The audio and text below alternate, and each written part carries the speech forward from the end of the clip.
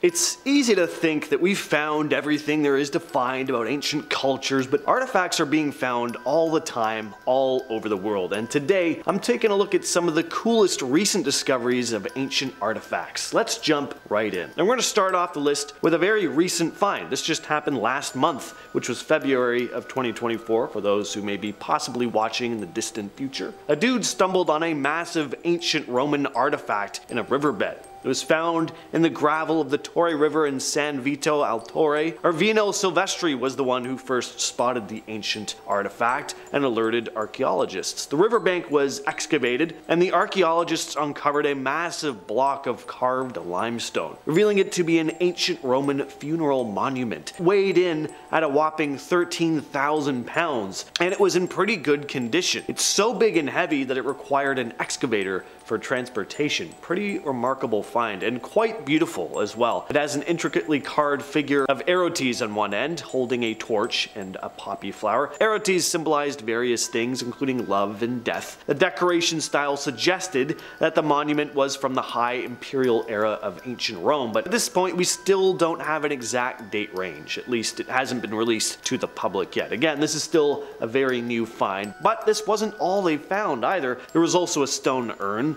a limestone carving depicting a man's face, and a number of bricks and tile pieces. Next on the list is what I'm just going to call the treasure trove. Now this news just came out last week at the time of recording this video. Archaeologists in Panama unearthed an ancient burial site filled with treasures at El Caño Archaeological Park. The burial dates back between 750 AD and 800 AD and looks like it must have belonged to an elite lord. The burial revealed the remains of a high status man who was likely between 30 and 40 when he died. Aside from bones though, there was a whole bunch of treasure breastplates, belts adorned with gold, beads, intricate bracelets, earrings. There were even a pair of crocodile shaped earrings, which is pretty cool. They also found gold covered sperm whale teeth earrings. How extravagant is that? Not only do I have a necklace with whale teeth, but I gotta get them coated in gold too. That's not even all they found. They also uncovered bracelets and skirts made from dog teeth, bone flutes, and a bunch of pottery pieces.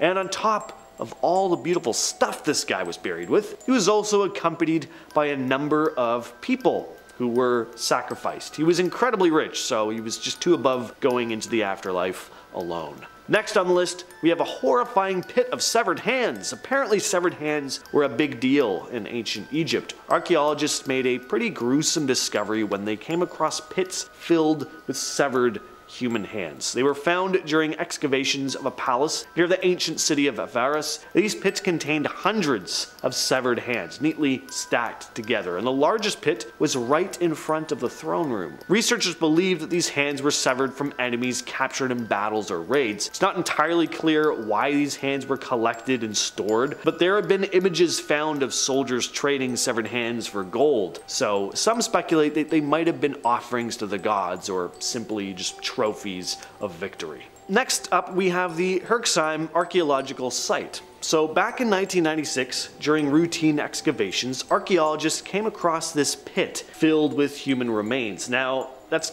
gotta be alarming even for an archaeologist. I can't imagine you ever get bored with finding human remains, but what made this find even creepier was how these folks had died. They weren't just the remnants of ordinary burials, there were signs that these people had been deliberately and systematically consumed by other humans. The bones all showed signs of butchering. Cut marks indicated careful dismemberment. It looked like these individuals were not just victims of violence, but also of ritualistic consumption. The pit contained the bones of over 500 people, dating back to the Neolithic period. Some suggest these folks were eaten as part of some sort of religious ritual, but other researchers think this may have been more a case of desperation. Possibly there could have been a famine.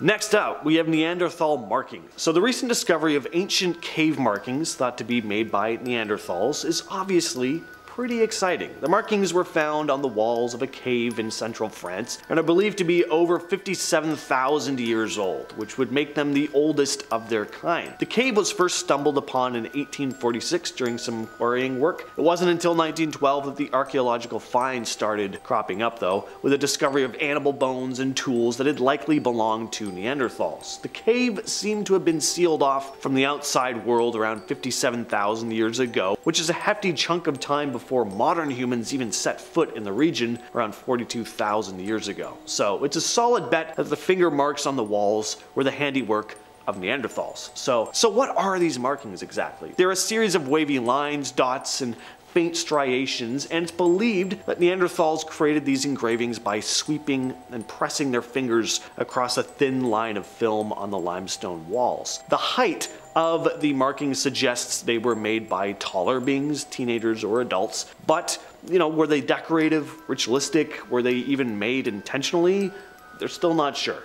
Now we head back to Egypt with the discovery of an ancient Roman city in Luxor. The news about this incredible find was announced back in January of 2023. Egyptian archaeologists found a very well preserved Roman city in Luxor, dating back to the 2nd and 3rd centuries CE. It's now been described as the oldest and most important city found on the eastern bank of Luxor by Mustafa Waziri, head of Egypt's Supreme Council of Antiquities. The archaeological team unearthed a whole whackload of these ancient structures, including residential buildings, offering insights into how people lived during that time. There were also the discovery of two pigeon towers used for housing carrier birds, meaning the city was very likely involved in communication networks at the time. There were also metal workshops found in the city that contained whole collections of artifacts of their own, pots, tools, and a collection of bronze and copper Roman coins. Next up, we have the 4,500 year old tomb. This is another recent 2024 archaeological discovery. I really tried to fill this list up with new stuff. So this discovery was made about 20 miles south of Cairo.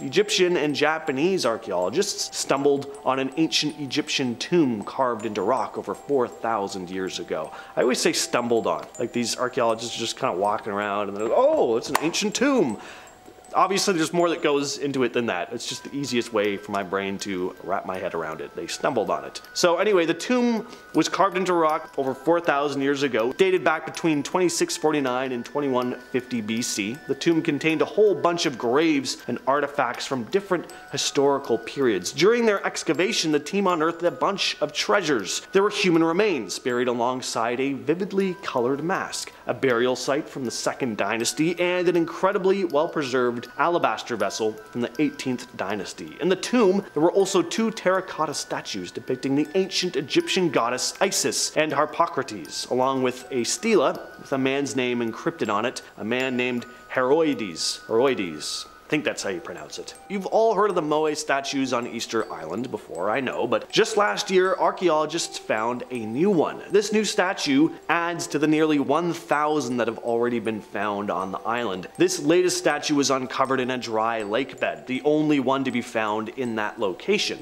So far, anyway. The discovery was made by the organization that oversees the island's national park. Terry Hunt, a professor of archaeology at the University of Arizona, was incredibly excited about the find and described how important it is that these statues be retrieved, helping to preserve the history of the Rapa Nui people. So with how much attention and research has gone into the Easter Island statues, why was it that this one was just discovered now? Well, they're saying it's probably because of changes in the area's climate resulting in the drying out of the lake that was surrounding the sculpture, and they're thinking it probably won't be the last one to turn up. Next, we have another exciting discovery. News about this came out just recently as well. A ton of cool artifacts were found in Brazil. And this one's pretty cool because this stuff was discovered completely by accident. This really was like stumbling on it. So there was a routine construction project going on at an apartment complex, but then construction workers came across a pretty alarming find, human bones, and then more and more stuff started turning up. There were also pottery shards, so these bones weren't recent. Turns out all this stuff belonged to an ancient civilization dating back as far as 9,000 years ago. During excavations they found thousands of artifacts, and not only that, but these artifacts could possibly reshape the understanding of human settlement in Brazil. The site known as Roseanne's Farm was full of stone tools, ceramic fragments,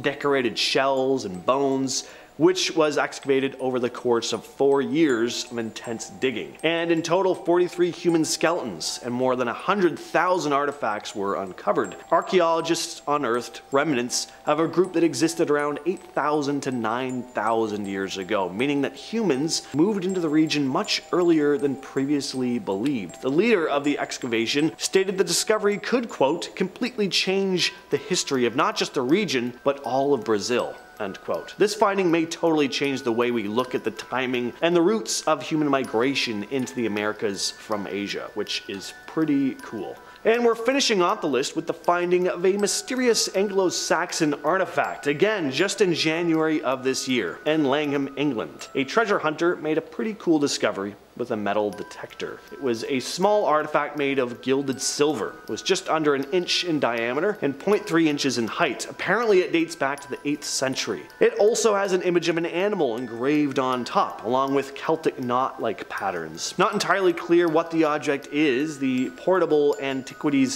scheme who are responsible for recording finds like this noted the thing is similar to other items discovered in the same time period, but this one stands out because of its size and its design. Historian Helen Geake speculated that the spiral pattern on the artifact looked a lot like Celtic designs, and that the animal depicted could be a horse. Definitely what it looks like to me as well. She also praised the craftsmanship, noting that it was created by someone with a keen eye for beauty. And again, I agree, that thing, it looks fantastic. With all that said, I've been your host James, and I'll catch you, yes you specifically, in the next video.